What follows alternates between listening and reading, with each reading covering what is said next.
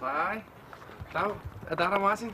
Ja. Nej, mig der er Rune. Det ser sgu meget hyggeligt ud. Lille fin legeplads. Jeg skal nok bare træne på noget til showet. Det skal være sådan nogle vilde ting, hvor jeg lige står nogle... Løb- fortsætter at løbe op ad en mur, slår nogle skruer, salto og lander og sådan noget, ikke? Kan vi klare det på 45 minutter? Det er fordi, jeg skal være afsted. Jeg skal mødes med en, vi skal på Burger King. Altså, øh, altså det er noget, der tager, det tager lang tid at lære det her. Så, Jeg regner med at bare kunne storme mig igennem det på sådan, hvad? Det ved jeg ikke. Halvanden time, to timer. Jeg skulle rimelig meget limberness, altså jeg kan sgu godt lide. Ikke? Nu er jeg lige helt strukket ud. Men altså, jeg er klar. Du vil gøre det i øh, dipklaver? Øh, ja. Skræmme, jeg er jo øh, idrætsudøver af højeste kil- Altså, jeg trænede i Afrika, hvor vi løber altid med bare til, så ikke noget problem. Altså, jeg kan godt Okay. lave sådan nogle ting. Jeg er meget mobil.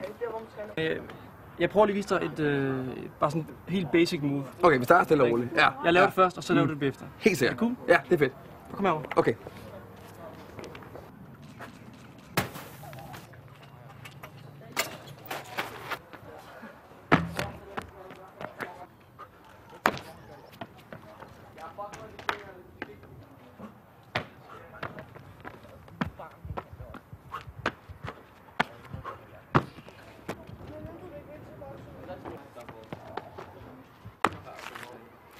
Yes.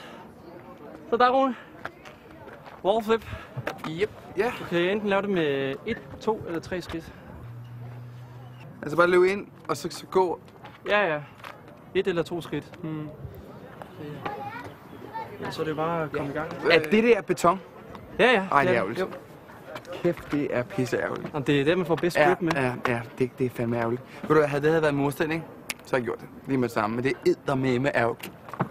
Pis, det er ærgerligt, det er beton. Fordi det er pisfarligt. Du kan godt se, altså det har jo kraftigt regnet hele dagen, ikke? Og, øh, og der kommer kondensvand ned her, så det er pisglat. Det er som en glatbane. Alt det her, kondensvægge, betonvægge, som det hedder. Det er bare udtrykket. For det første skal væggen rettes lige ud. Den, der var pisskæv for det første, ikke? Og alt det der, du ser, fugerne er helt fyldt med, med, med væske eller en form. Det skal I sgu fikse. Jeg er nødt til at løbe nu. Torben han venter. Det er, pi- det er pisfarligt, det her her. Så få lige kigge på det. Skal lige, den skal lige rettes op. Ja.